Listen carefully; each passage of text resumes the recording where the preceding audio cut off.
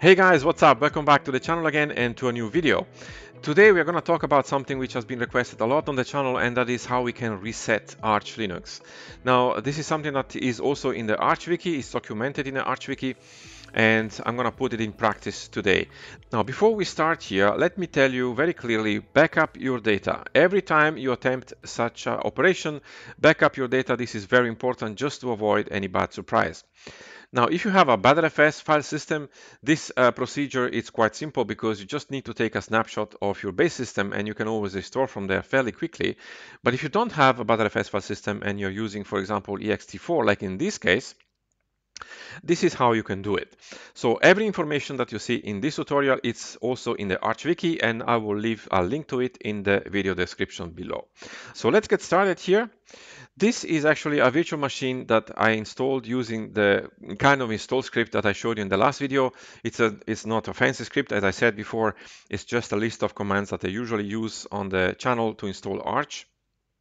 And so I installed the base system only. There is no desktop environment, there is no window manager.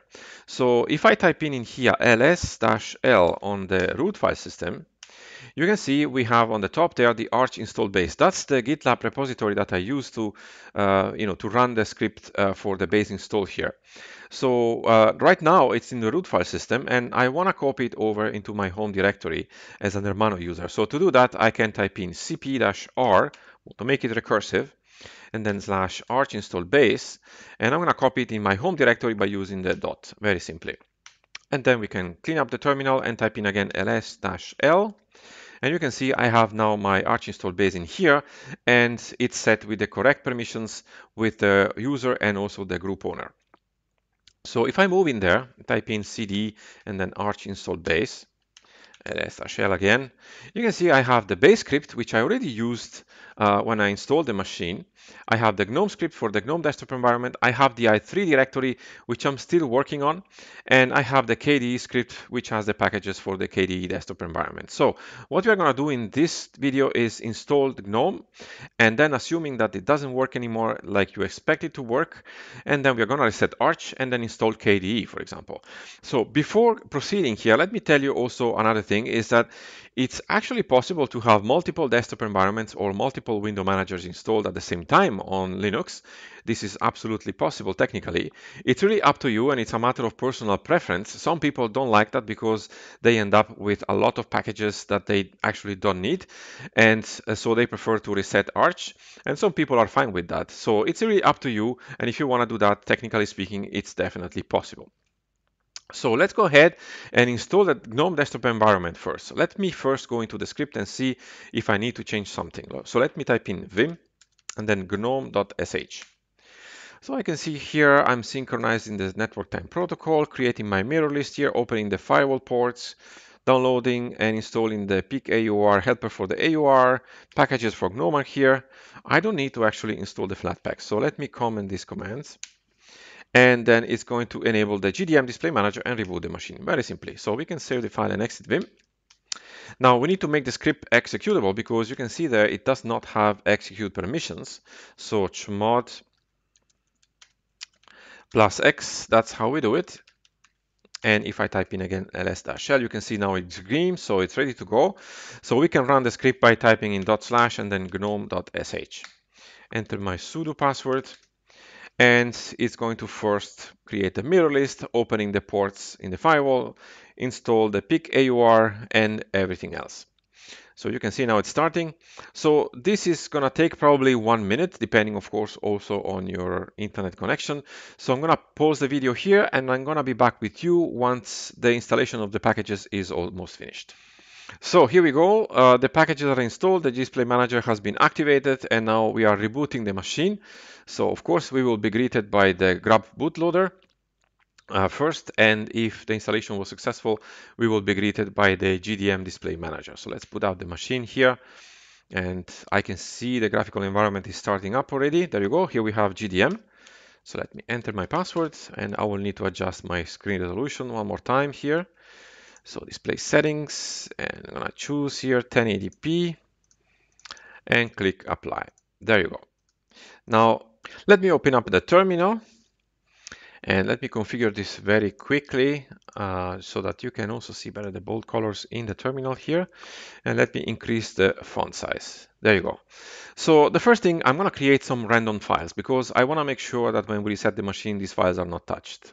So I'm going to type in touch and then documents. It's going to be under the documents folder, file, curly brace 1.10, curly brace.txt. So I'm going to create 10 random files. So ls shell on documents, and you can see we have the 10 random files in there. So again, if it, this is your data, make sure that you make a backup of it just to make sure. In my case, this is not necessary, it's just demo data. And next, the next step I'm going to do here is to disable the display manager. Now we are assuming that after a certain time, something is maybe not working well, or you want to replace GNOME with another desktop environment. So because I'm going to actually install KDE as a desktop environment, KDE is using SDDM in my case. So I want to make sure that display manager is disabled because if I run the script or if I want to try to install KDE with the SDDM display manager, when I activate it, it's going to fail because it's going to say that there is already one active in the system even the package is installed, but the link is still pointing to a missing package. So I'm going to disable GDM here by typing in sudo systemctl disable GDM and then hit enter. Enter my sudo password and the display manager is now disabled. It's not removed from the system, but it's disabled. So now we can proceed by resetting Arch. Now the procedure, as I said, is on the Arch wiki. And the first step is basically to tell the system to mark all the packages installed as dependencies. And we are going to do this by typing in sudo pacman dash d dash dash as deps and then dollar sign parentheses pacman dash qque closing parentheses. So we are marking all the packages installed as dependencies. In fact, when I hit enter here, you can see by picking up any of these lines, the, it says install reason has been set to installed as dependency. So the next step is to tell the system actually which from all of these dependencies we want to keep as explicitly installed. So to do this, we are going to type in sudo pacman-d then dash dash as explicit, and then we define the packages that we want to keep. Now, this is really up to you. What I'm going to do in this video is really going to reset Arch to zero, so to the base packages only, because after that, I'm going to remove everything else and I'm going to reinstall the base system that I have with my script, which contains packages that I want and then install another desktop environment. So you know from the tutorials I do on the channel, normally I just install a few packages after partitioning the disk. And those packages are base, the Linux kernel, and then Linux-firmware. I'm going to keep also git and then vim, and also amd-ucode. So these are the base packages that I want to keep. In fact, if I hit enter now, it's going to say here install reason has been set to explicitly installed. So now it's time to remove everything else. And to do this, we need to switch to the root user because it's not going to work even we use the sudo command. So I'm going to type in su and then a dash, enter the sudo password here, and clean up the terminal. Now, the command for removing everything is pacman dash qttdq. Now, there are two Mm, possibilities here. We can use qtdq, which is going to remove all the dependencies, or we can use qttdq, which is going to remove also the optional dependencies. So I'm using the qttdq here because I want to really remove everything. I don't want to have anything else than the base packages installed in my system. And then I'm going to pipe this command into pacman dash rns, which is the usual command to remove dependencies, and a dash. And then when I hit enter here, you can see we are removing almost 4.8 gigabytes of packages. So the GNOME desktop environments plus everything else except those packages that I defined before. So I'm just going to hit enter here. And this is not going to take too long. So it's going to remove every package that I don't need in here, except of course the configuration packages like the uh, locales or the host name or the host file. Those are, are going to stay in place and you can see it's now done. So if I would reboot the machine right now, we're going to reboot into the emergency uh, shell the, of the virtual machine. So that's not what we want to do. So what I want to do, I want to move into the root file system again. So by typing cd and then a slash, type in ls-shell again, And I want to go back into my Arch install base repository. So I'm going to type in cd and then Arch install base and ls-l again. Now you can see here I have my scripts uh, in the root file system. So here they belong to root and I don't have any execute permission on any of those scripts.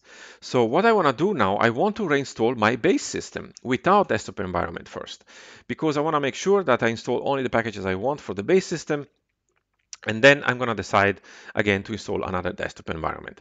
So I'm going to go into the base shell script there to see if there are some changes that I need to do. So let me type in vim and then base.sh. And as you can see here, those are commands, the first commands here, those are commands for the configuration. Actually, I don't need to run those. So I, what I can do here in Vim, I can hit Control V, mark them, and then Shift I, and then enter a hashtag here and hit Escape. And I'm going to comment all these commands because I don't need to run them. Uh, those are commands that I need for the base packages, and I need the commands for grub. The systemctl enable uh, actually are there. I could actually disable them, but I can leave them on. They don't do anything special because the links are still there. So I could actually also here enter Control V, enter Shift I here, enter the hashtag and hit escape. So these commands I don't need to run neither. Then we can save this file and exit Vim. And now I need to give execute permission to the base script. So chmod plus x and then base.sh and then dot slash base.sh to run the script. So it's going to now reinstall all the packages. So after this, we are going to make sure that the grub bootloader is reinstalled because without that we are not going to be able to reboot the machine. So after that we should be then ready to go. Now the installation is almost done. It's reinstalling grub and now we are basically done. So what we can do now, we don't need to type in exit and umount-a. This is actually meant for the base install when we install from the live ISO. There is one small change that I need to do in the grub configuration file. So let me do that very quickly. And that's because I'm on a virtual machine. So vim slash etc slash default slash grub. I need to enter here the video equal 1920 per 1080 parameter and regenerates the configuration file. So grub dash mkconfig dash o and then slash boot and then slash grub slash grub dot cfg. There you go. So now we can reboot. So let's type in reboot. And if the installation was successful, we should be again greeted by the grub bootloader. Uh, we should come up in a second here. There you go. Here is grub. So let's hit enter and we should be greeted by the TTY. There you go. So let me enter my username, my password, and let me type in, in here set font ter132n to have bigger fonts. There you go. So we are back now to square one. We have our base system. Now we want to install KDE. So let me type in ls-l here. And first of all, let's check what happened to our documents. Let's type in ls-l on documents and you can see my files are still there, so they haven't been touched. Now, what I want to do, I want to move into my repository, so cd arch install base, type in ls, and you can see the KDE script is there. So that's what I want to install. So let me check the script first by typing in vim and then kde.sh. And here we have the same commands basically. So we are going to create again a mirror list. The firewall ports here are gonna fail because the ports, the configuration file for the firewall are still present. So I can actually go in visual block here and I need to comment these commands like so. The Pikaur repository is still present, but the package is not, so it's gonna rebuild that. Then we have the packages for KDE, which is fine. And I can actually disable here uh, the Flatpak. I don't need this. And then it's going to enable SDDM. So that looks good to me. So we can save the file and exit Vim. Now we need to make this executable. So chmod plus x and then KDE and then dot slash KDE dot sh. So I need to enter my password here. Again, it's going to recreate one more time the mirror list and then it's going to install again the Pikaur and the packages for KDE, which are going to be installed right now. Now, if you boot it up and you didn't have internet because you have Wi-Fi, you could type in the terminal nmtui, go to activate that connection and you will see the list of your networks there. You can enter the password and then you will be connected as well and you can proceed as I did here. So this is going to take a moment uh, to install. So I'll pause the video here and I'll be back with you once it's almost finished. So here we go, the packages are now installing and this is going to be fairly quick. So what I really like about this approach is the modularity and the flexibility of it because by resetting really to zero almost, I can always go back into the base script and change it if I want to maybe reinstall some other packages or remove some packages that I don't need. And then I can install over that a desktop environment or a window manager. So this is almost now done. We are almost at the end of installing here KDE and it should be now enabling SDDM, there you go, and now it's rebooting the machine. So after reboot, if the operation was successful, we should uh, be greeted again by the grub bootloader and then by SDDM. So let's see what happens here. It's rebooting the machine up. Let's boot the machine and we should be greeted by SDDM. And there we go, we have SDDM here. So let me enter my password and we should be able to log into KDE just fine. And here we are in KDE. So I need to adjust the screen resolution one more time here. So let me go to display configuration and pick 1080p and click apply. There you go. So let's have a look at our documents. So documents, you can see our files are still there. So the operation was successful. So this is one way how you can uh, reset Arch and reinstall a new desktop environment or window manager. There are surely other ways how you can do this. And if you know some other ways, please post them in the comments below and help the community with other solutions. This is one way to do it and it's the way I use uh, with my scripts, but surely there are also many other ways to do it. So if you try this out, let me know in the comments below how it's working for you. And if you have any question about the video, let me also know in the comments below. As usual, I will try to answer you as soon as I can. And if you want to support my work, you can do so by joining the Patreon team. Uh, as you probably already know by now, I'm doing now a live webinar uh, on Patreon every month where we're going to pick a topic about Linux and discuss for one hour together live, where you can also set your questions there live with me. Or if you want to, you can also donate via PayPal through my website as well. So thank you so much for watching the video, guys. I really appreciate that, and I'll see you very soon in the next one.